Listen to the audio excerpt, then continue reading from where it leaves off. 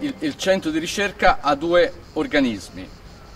Uno è il team operativo, dove ci sono due designer, un agronomo, un esperto di comunicazione e alcuni insegnanti, alcuni attivisti. E poi un comitato scientifico. Nel sistema tradizionale il rifiuto residuo viene fatto scomparire o in discarica o bruciata negli inceneritori che la trasformano in polveri e nanopolveri.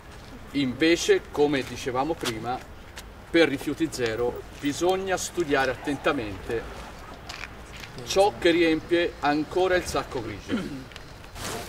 Abbiamo visto che ci sono tre grandi famiglie. La prima famiglia la possiamo chiamare errori di conferimento. Le bucce di banana, le bucce di mela sono stati messi nel contenitore sbagliato.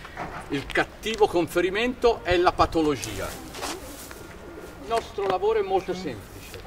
Noi apriamo alcuni sacchi casualmente. Patologia, Ça, c'est une pathologie. riparabili, riusabili. Alors nous, qu'est-ce qu'on doit faire? Informer plus les gens qu'on a des centres de réutilisation et réparation.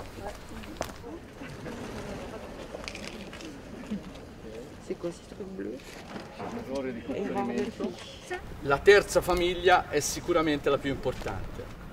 Qui la, la patologia è non prodotti non riciclabili e compostabili. È la stessa cosa di errori di progettazione industriale. La terapia è un nuovo disegno industriale. Questo è l'ultimo, poi, poi basta. Dopo una singola visita noi scriviamo al sindaco, all'assessore e all'ASCIT suggerendo quelli che sono i problemi e quelle che secondo noi dovrebbero essere le soluzioni.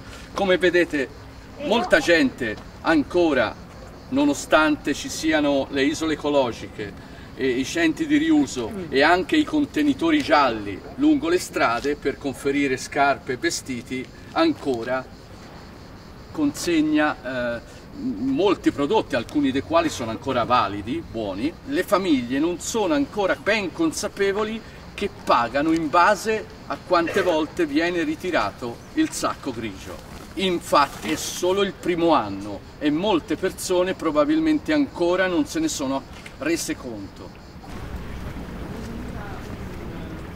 In modo sorprendente abbiamo trovato quantitativi eh, eccessivi eh, riferibili al cattivo conferimento e quindi occorre fare più informazione anche nei confronti delle stesse famiglie.